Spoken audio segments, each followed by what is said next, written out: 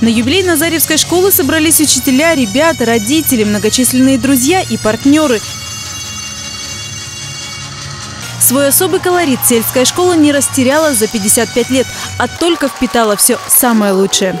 Я хочу пожелать всей нашей школе, прежде всего, это коллективу, ребятам, в общем, всем-всем-всем, родителям, э, нашему поселку. Я хочу пожелать, чтобы наша школа была самой лучшей в Одинцовском районе. Пусть она будет счастливой, удачливой, творческой, талантливой. А это зависит от наших учителей, от нашего коллектива. Поэтому с днем рождения, дорогая любимая Назаревская школа.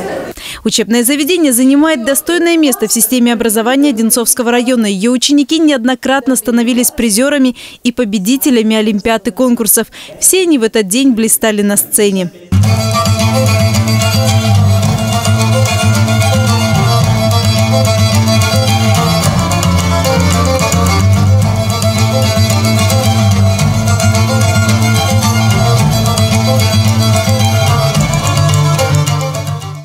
Школе сегодня исполняется 55 лет. Это такая достаточно большая дата, это юбилей нашей школы, и нам всем очень приятно учиться в этой школе. Во-первых, это мне, учителя в моей школе очень добрые, отзывчивые, настойчивые, и на уроках мне довольно приятно находиться и общаться с коллективом, с друзьями.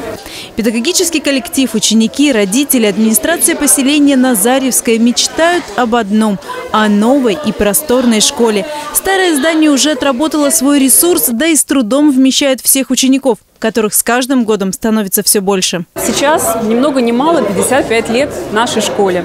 А, с одной стороны, это очень радостное событие, юбилей 55 лет, такая красивая круглая дата. С другой стороны, мы понимаем, что уже 55 лет для здания школы – это уже такой почтенный возраст.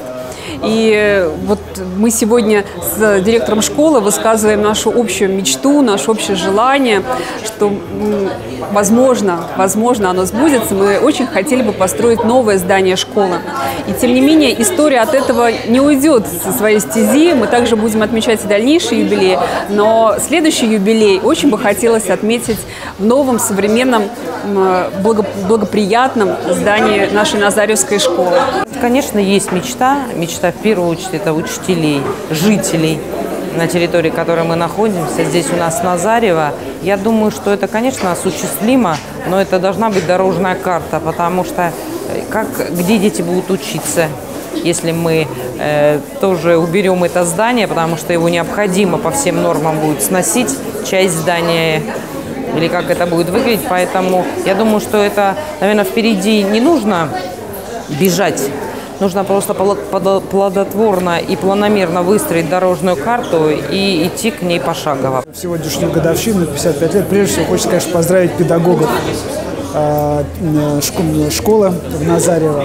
И пожелать, конечно, чтобы школа продолжала развиваться, продолжала воспитывать талантливых детей, дарить их нашей стране, растить настоящих граждан, настоящих патриотов нашей страны, чтобы они были умными и талантливыми. Со сцены звучали слова благодарности не только всем учителям, но и друзьям учебного заведения, а таких оказалось немало. Каждый получил благодарственное письмо и символический подарок о памятной дате. Назаревской школе исполнилось 50 лет.